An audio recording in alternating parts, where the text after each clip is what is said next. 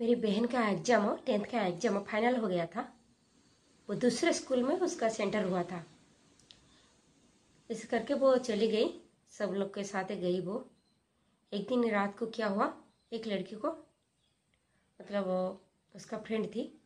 बोली, हमको टॉयलेट जाना है। तो अब तो मतलब हर स्कूल डेवलप हो गया है। हर स्कूल में टॉयलेट बाथरूम फास्ट हो गया। है फास्ट है, उसके बाद सब कुछ मतलब करते हैं। फास्ट स्कूल प्रायोरिटी देते हैं। तब नहीं था वो स्कूल में। बहुत सारे स्कूल में नहीं था। वो स्कूल में भी नहीं थी। नहीं था तब। वो स्कूल के साइड में एक छोटा सा पंड था। स्कूल के आगे एक ट्यूबवेल था। ऐसे करके वो काम चलाते थे। एक दिन रात को क्या हुआ? वो एक लड़की को टॉयलेट लगी। वो बोली, दूसरे फ्रेंड की मदद ली। ऐसे करके वो और तीन लड़की को इकट्ठा किया।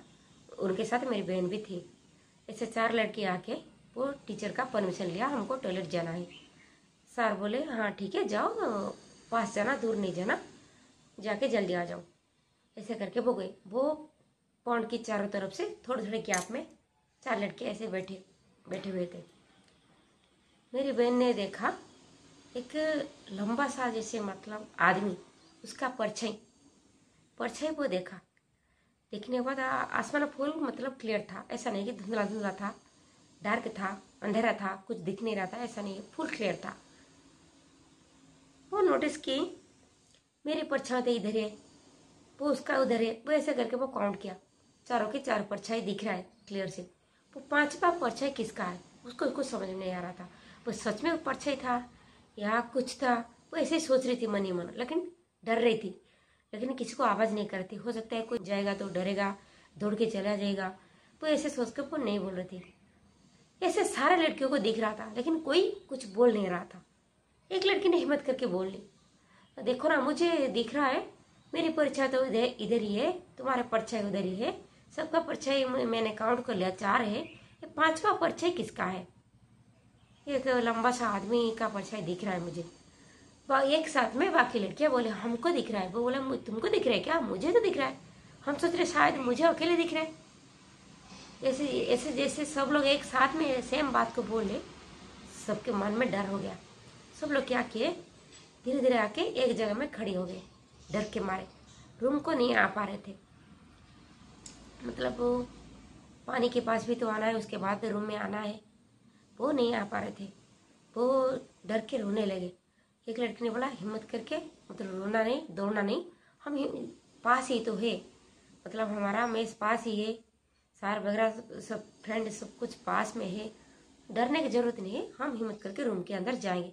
हो सकता है कोई मतलब वो वो ट्री का छाँव है कुछ है हमको ऐसे दिख रहा है। ऐसे करके वो हिम्मत करके रूम में आए। डोर बंद करने के बाद मेरी बहन ने बोली, हमको ऐसे दिख रहा था।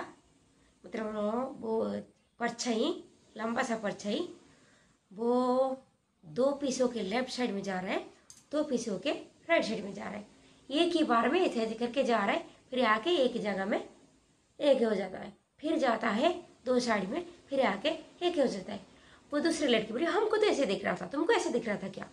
ऐसे करके सारे लड़के, सारे लड़की वही सेम बात बोलने लगी। बोले, ये क्या था? मतलब इतने से अगर किसी एक को दिखाई देगी, मान लो, वो भूत नहीं है, कुछ नहीं है, ऐसे ही मामूली सा मतलब ट्री का छाव है, कुछ है, उसको ऐसे बाई मिस्टेकल दिखाई दिया। लेकिन ये सबको एक बार में, एक ही जगह पर, एक साथ में दिखाई नहीं देगा। ये मतलब पॉसिबल नहीं है।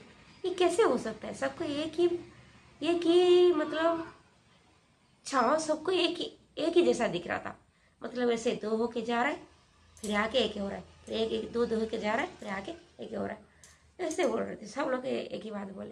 चाहे दुनिया कितना भी डेवलप हो जाए, हम भूत प्रेत को मानते नहीं हैं। आप भी नहीं मानते होंगे। लेकिन कभी कभी किस्सा हो जाता है।